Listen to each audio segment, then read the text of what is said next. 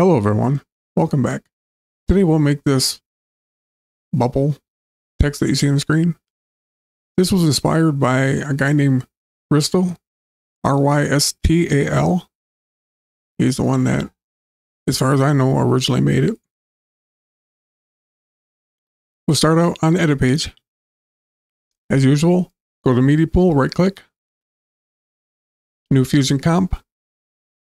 You can name it if you want, you don't have to and leave it on five seconds. And go to Fusion.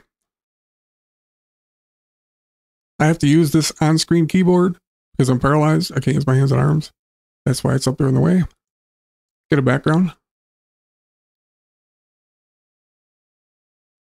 Make it kind of an off-white, but not by much though. We can go to one viewer for this. With the background selected, Hit a merge, text plus.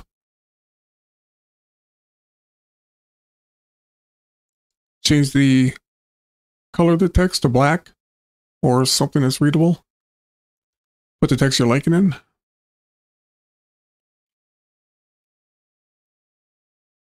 Pick your font everything now. We are going to make a macro at the end, so you'll be able to save this or reuse it. I'm going to use Arial Rounded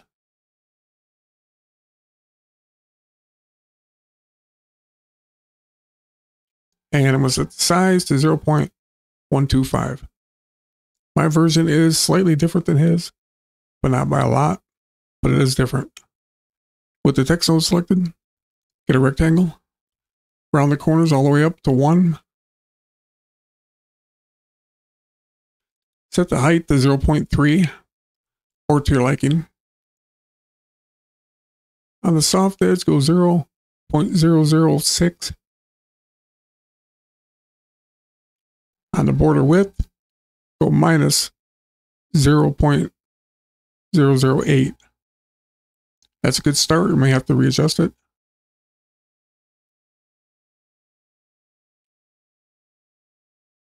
I don't have a middle mouse wheel to zoom in and out like you guys do on my controller. That's why I use the drop down menu in case you're wondering. You want to have a faded edge about like that. Select the rectangle. Come back to the center. Right click on it. Modify with XY path. Then go to the modifier. Delete both these keyframes. Right click on the X. Modify with anim curves. Put the playout on frame zero. The offset will be the in. The scale will be the out. So take the offset back to where you're just off the screen. Then take the player to the end and take the mask it's just off the screen on the right. Then highlight both of them. Right click, copy, click away, and paste instance. If you don't know what an instance is, it's an exact copy of whatever node you've taken it off from. So if you change a value in one, it'll change it in both. We are going to de-instance a few things here. In other words, decouple them so they work independently. Select the uh, rectangle instance. Right click on the invert and de-instance. Then go back to the original rectangle and select invert. Now all your text should be on the screen. Then go back to the instance, right click on the soft edge, and de-instance. And on the border width, right click and de-instance.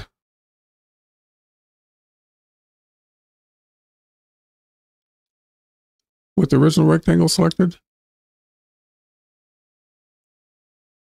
double click on both of them and reset them back to zero. And click away right about here. Shift space and displace.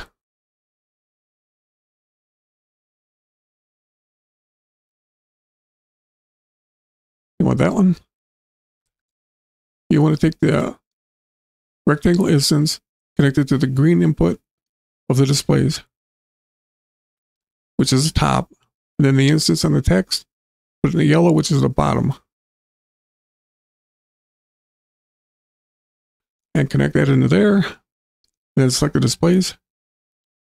And the refraction strength. As you'll see when you raise that, the text in the mask is getting larger. I'm going to set mine to 0.6 or 0.5, somewhere there.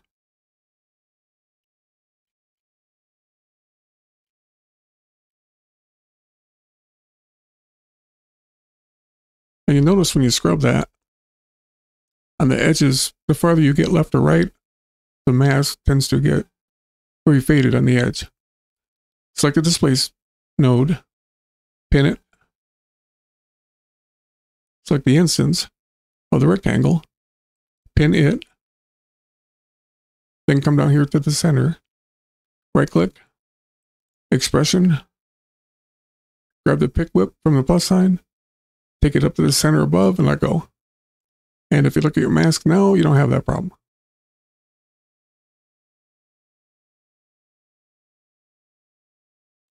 You can unpin both these.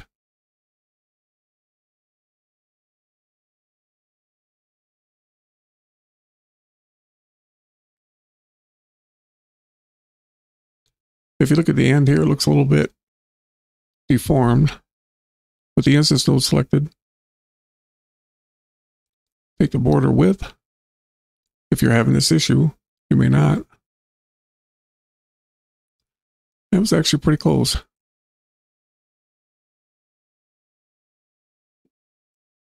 The displace, set the speed to one. I almost forgot that.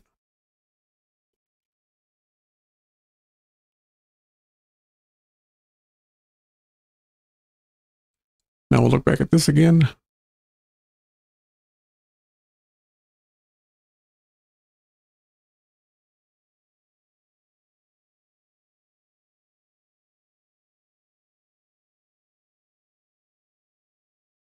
That looks good. Now we'll put a drop shadow on it. Get a background. And shift space and drop shadow.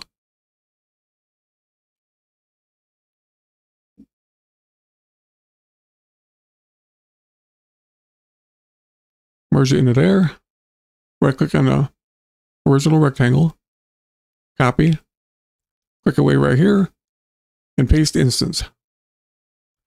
Plug it into there.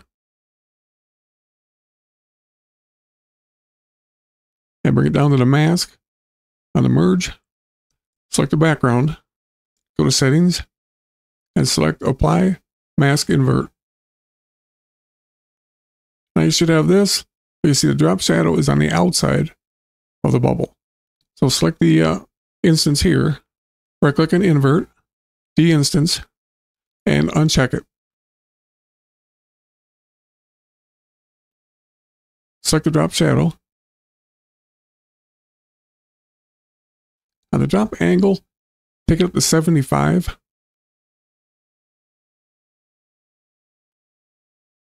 That way angle will be coming from the top and it's even on both sides.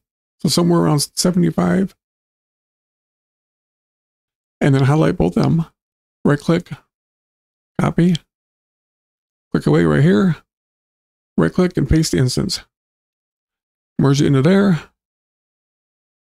Right click on the rectangle instance, copy, click away right here, and paste another instance and plug that into there.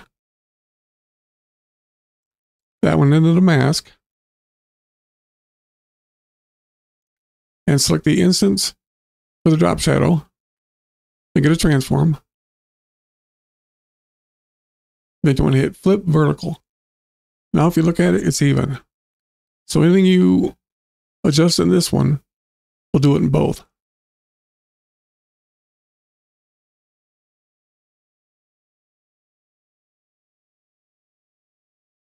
My default setting is going to be in the shadow strength 0.25, the drop angle 75. And we'll go ahead and make the macro. Click away, make sure nothing's selected. hold the control button down and select these in the order that I do.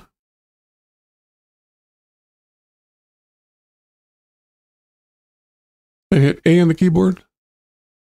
Keep the control button down. Deselect the media out. Right click on any one of the other nodes. Go to macro, create macro. Give it a name.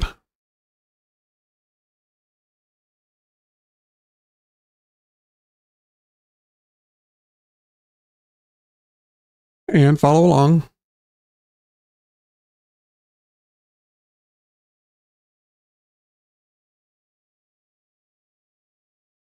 and a rectangle. Anim curve. The scale, delete it and put it out. And the offset, delete it and put it in. You may never need it, but it'll be there if you do.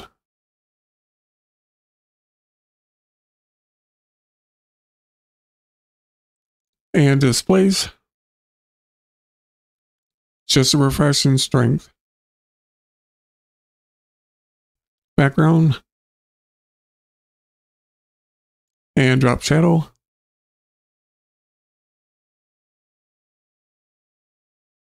And go to File. Save as group. It takes you to macros. Go to Fusion instead.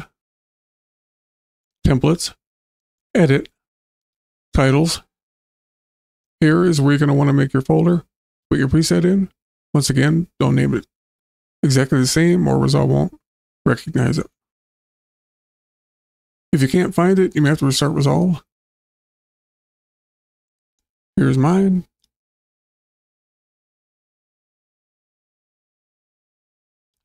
I'm not going to go over all these controls. If you want your text to be zoomed in more or less, use the refraction strength.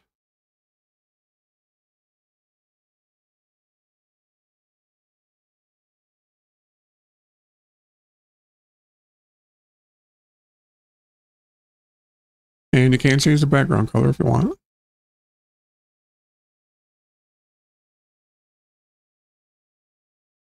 And your drop shadow strength.